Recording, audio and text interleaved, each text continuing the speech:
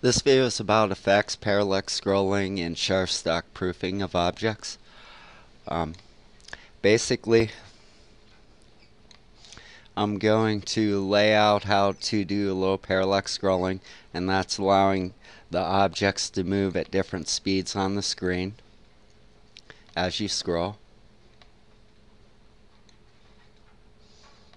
And what I'm going to do here is add some parallax scrolling to this object here so it covers over the above video faster than it is currently now.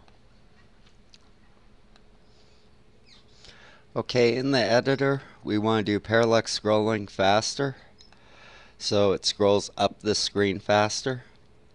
So I'm just going to do 50% uh, on these and all the objects that you want to move up you have to set the speed on. And there's three objects here the background the text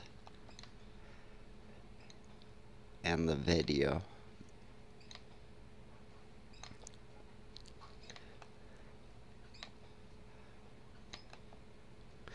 Okay the transitions are set now I'm going to save and preview.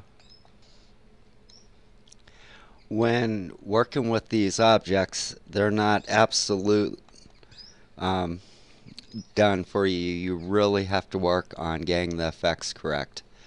So basically, uh, you just have to work at it until it's exactly the way you want it. Different speeds, uh, different placements.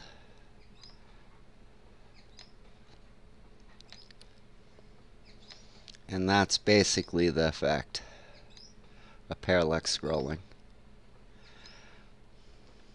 Uh, the the parallax scrolling is still in beta, but you know if you want to work with it, you're welcome to. If you have any questions, contact us.